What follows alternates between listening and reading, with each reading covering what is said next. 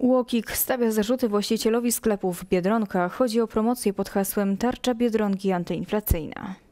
Akcja reklamowa, która wzbudziła zastrzeżenia UOKiK-u trwała od 12 kwietnia do końca czerwca.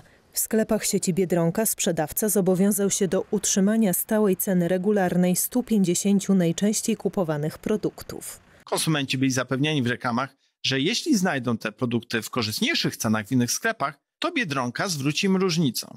Zasady wydawały się proste, obietnica kusząca, ale rzeczywistość okazała się inna. Przekazał prezes UOKiK-u Tomasz Chrustny. W praktyce okazało się, że skorzystanie z promocji było dla klientów mocno uciążliwe i nieopłacalne. Nie wystarczyło bowiem zgodnie z hasłem reklamowym znaleźć tańszy produkt w innym sklepie, ale trzeba było oba te produkty kupić. Klienci musieli też spełnić wiele innych warunków, od udokumentowania zakupów, przez wysyłkę zgłoszenia elektronicznie, a następnie pocztą tradycyjną. Okazało się też, że zamiast pieniędzy do ręki, klienci mogli przy zwrocie różnicy liczyć wyłącznie na e-kod, który można było wykorzystać tylko w sieci sklepów Biedronka w ciągu siedmiu dni. Właścicielowi sieci UOKiK postawił trzy zarzuty.